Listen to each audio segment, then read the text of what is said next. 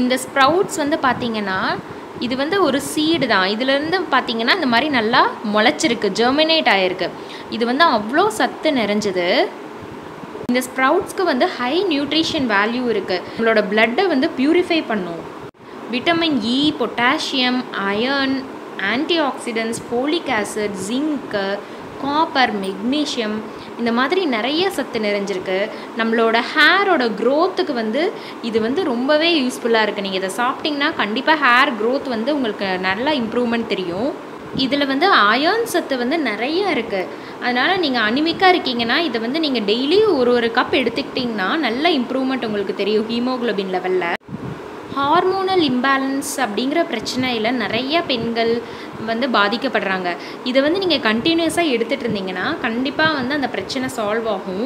Pregnancy டைமில் இந்த ஸ்ப்ரவுட்ஸை வந்து நீங்கள் டெய்லியும் எடுத்துக்கோங்க.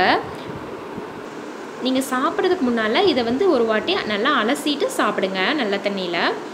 ஏன் வந்து வாஷ் பண்ணிவிட்டு சாப்பிட சொல்கிறேன்னா இது வந்து நம்ம ஒரு நாள் ஃபுல்லாகவே நம்ம க்ளோஸ் பண்ணி வச்சுருந்தோம். அப்படிங்கிறப்ப நமக்கே தெரியாமல் சில பாக்டீரியா இல்லை ஃபங்கஸ் வந்து இதில் வந்து இருக்க வாய்ப்புகள் இருக்குது ஸோ அதனால் நம்ம வாஷ் பண்ணிவிட்டு சாப்பிட்டோன்னா நம்ம சேஃபாக இருக்கலாம். இதை வந்து நீங்கள் குக் பண்ணி கூட சாப்பிடலாம். நீங்கள் வந்து பிரியாணி இல்லை வந்து ஏதாவது புலாவ் அந்த மாதிரி கூட நீங்கள் குக் பண்ணி சாப்பிடலாம். ஆனால் வந்து நீங்கள் பார்த்தீங்கன்னா இதை குக் பண்ணீங்க அப்படின்னா இதோட சத்து வந்து கண்டிப்பாக குறைய வாய்ப்புகள் இருக்குது நீங்கள் பச்சையாக கூட சாப்பிடலாம். இது வந்து ரொம்ப க்ரன்ச்சியாக நல்லா தான் இருக்கும். நம்ம இப்படியே சாப்பிட்டோம் அப்படின்னா நம்மளுக்கு ஃபுல் நியூட்ரிஷன் வேல்யூ வந்து நமக்கு கிடைக்கும். நீங்கள் இந்த ஸ்ப்ரவுட்ஸில் வந்து அப்படியே நீங்கள் பச்சையாக சாலட் மாதிரி கூட செஞ்சு சாப்பிடலாம்.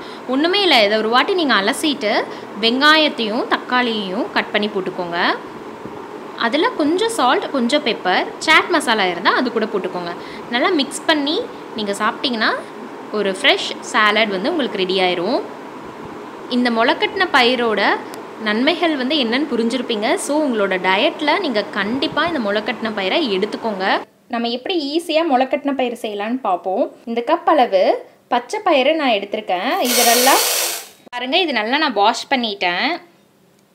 பாருங்கள் தண்ணி வந்து நல்லா மூழ்கிற அளவுக்கு நல்லா நான் ஊ ஊற்றிட்டேன் இப்போ நான் இந்த பச்சை பயிரை நான் ஓவர் நைட்டு ஒரு நைட்டு ஃபுல்லாக நான் வந்து ஊற விட போகிறேன் க்ளோஸ் பண்ணி இப்போ நம்ம நைட்டு ஃபுல்லாக விட்டுடலாம் காலையில் எந்திரிச்சு பார்ப்போம். இப்போ வந்து ஒரு நைட்டு ஃபுல்லாக இந்த ப பச்சை பயிறு வந்து நல்லா ஊறிடுச்சு நைட்டு ஒரு நைன் ஓ கிளாக் வச்சேன். இப்போ செவன் ஓ கிளாக் ஆகுது இப்போ பார்த்தீங்கன்னா நல்லா பெருசாக இருக்குது பாருங்கள் இப்போ வந்து நான் இந்த வாட்டரை ட்ரெயின் பண்ணிவிட்டு நம்ம இதை க்ளீன் பண்ணிவிட்டு வரலாம்.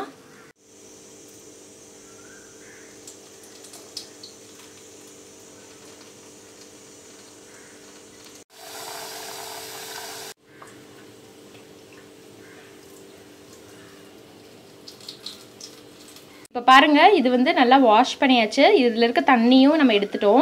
இப்போ நம்ம என்ன பண்ண போகிறோன்னா இந்த தண்ணியெல்லாம் நல்லா வடிச்சிட்டு இந்த மாதிரி ஒரு ஹாட் பாக்ஸ்க்குள்ளே போட்டுருங்க. நீங்கள் வந்து எந்த துணி அதெல்லாம் வந்து நீங்கள் கட்டி வைக்க வேண்டிய அவசியமே இல்லை. இது ரொம்ப ஈஸியாக உங்களுக்கு வந்து முளை கட்டிடும் தண்ணி இல்லாமையே போட்டுருங்க. தண்ணியோட போடாதீங்க.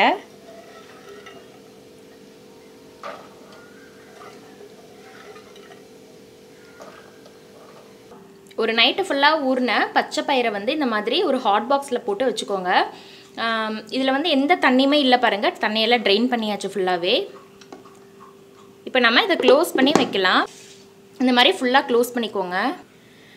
இந்த மாதிரி நீங்கள் இந்த ஹாட் பாக்ஸை க்ளோஸ் பண்ணி நீங்கள் டிஸ்டர்ப் பண்ணாத இடத்துல நீங்கள் பாட்டுக்கு வச்சுருங்க. நம்ம டுவெண்ட்டி ஃபோர் ஹவர்ஸ் கழித்து பார்க்கலாம். நாளைக்கு மார்னிங் இதே டைமில் நம்ம பார்க்கலாம் எப்படி இருக்குன்னு. பாருங்க இப்போ வந்து காலையில் ஆயிடுச்சு நான் நேற்று காலையில் செவன் ஓ கிளாக் நான் வந்து இந்த ஹாட் பாக்ஸில் வச்சேன். இப்போ இன்னைக்கு காலையில் இப்போ செவன் ஓ கிளாக் ஆகுது. நம்ம ஓப்பன் பண்ணி பார்ப்போம் எப்படி இருக்குன்னு.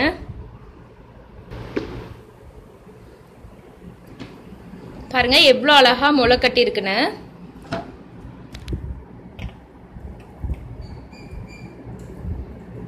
நம்ம வந்து துணிலலாம் கட்டி வைக்க வேண்டியதே இல்லை. இவ்வளோ ஈஸியாக நம்ம வந்து முளைக்கட்டம் பயிர் வந்து செஞ்சிட்டோம்.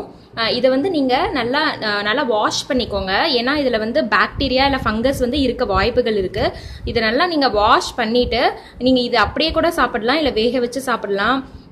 இல்லை இதை வந்து குழம்பு பிரியாணி அந்த மாதிரி கூட அதில் கூட சேர்த்து சாப்பிடலாம். நீங்கள் குக் பண்ணிட்டீங்க அப்படின்னா அதோட நியூட்ரியன்ஸ் வந்து குறை குறையும்.